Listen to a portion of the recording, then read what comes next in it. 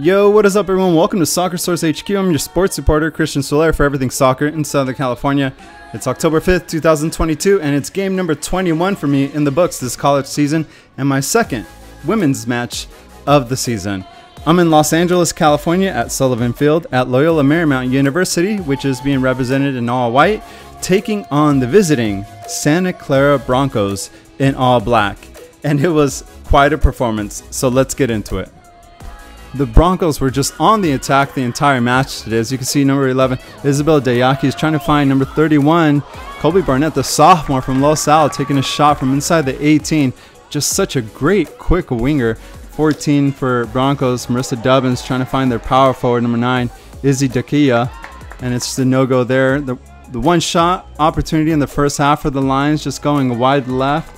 And number 11 for the Broncos, Isabel Dayaki is just doing a marvelous job penetrating and taking a shot, just unable to go past the goalie today.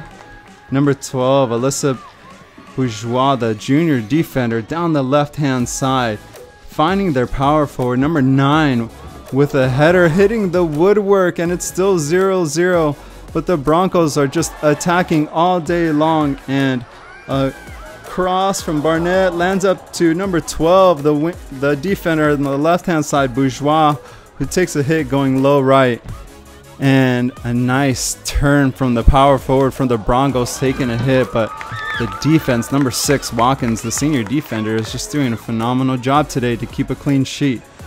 And here comes the sauce from the Broncos, the sophomore, Colby Barnett. Just fantastic performance, but just that finish is the one part that she just needs. Just incredible performance from number 31. Just phenomenal job as you can see down the wing. Here she finds her teammate and a shot just going directly to the keeper. And again, down the left hand side, a beautiful through ball from Barnett to their power forward.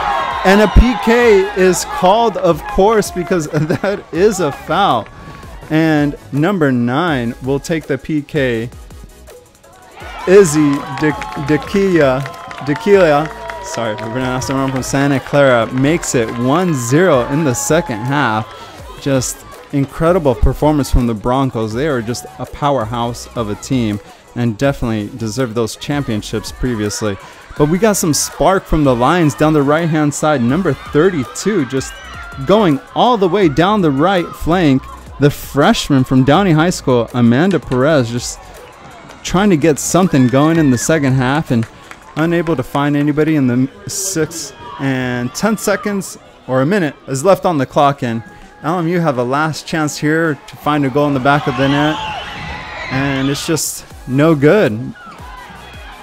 10 seconds left on the clock and the countdown and the ref is about to blow the final whistle. The Broncos just a powerhouse team and the Lions just did a great job defending this game only keeping Santa Clara to one goal. And that's the final score LMU 0, Santa Clara Broncos 1. I'm your host and sports reporter for everything soccer in Southern California, Cristian Soler. Make sure you subscribe and share this with all your family and friends, and I will see everybody in the next one. Cheers.